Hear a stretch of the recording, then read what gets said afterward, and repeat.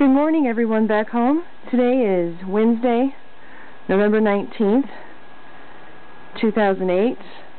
I'm in Nakajo, Japan, and it's the first snow. I hope you can catch the snow here. Uh, but it's snowing. I don't know how much snow we're going to get, but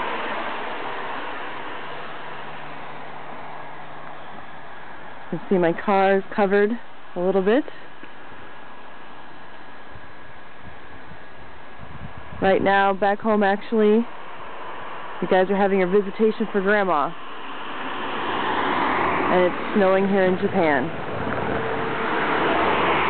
I wonder if she has anything to do with it.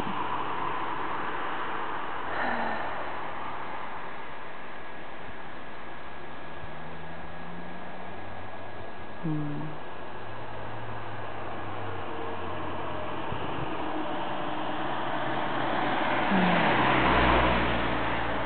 There's my house.